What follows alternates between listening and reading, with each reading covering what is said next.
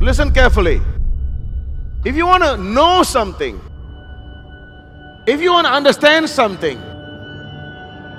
you cannot use the word try. Now, there are many people who try things. Not many people who try things are successful. Those who really understand what it means to learn and succeed, you will never use the word try. Because the word try sets you up to fail. Try. Maybe, maybe not. I will try and open the door. And if it doesn't open, what do you do? You will leave it alone. But if you're going to open the door, you will do whatever it takes to open the door. So, although the word try is in the dictionary, try means lie. Try gives you an option to fail. You're never going to know something.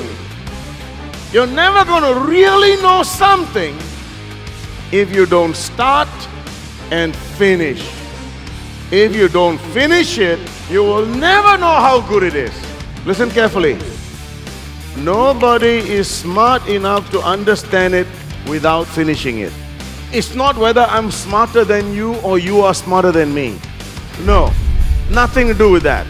It is just the human psychology. That's it. Anything that you do in life, if you pull out halfway, you never know what could have been. Never know what could have been. Or you might say, I know of 10 people have done it before and failed. Not enough. There could be one person who has done it and succeeded. And you could be next, but you won't give yourself a chance. And you quit because you think you've done it before.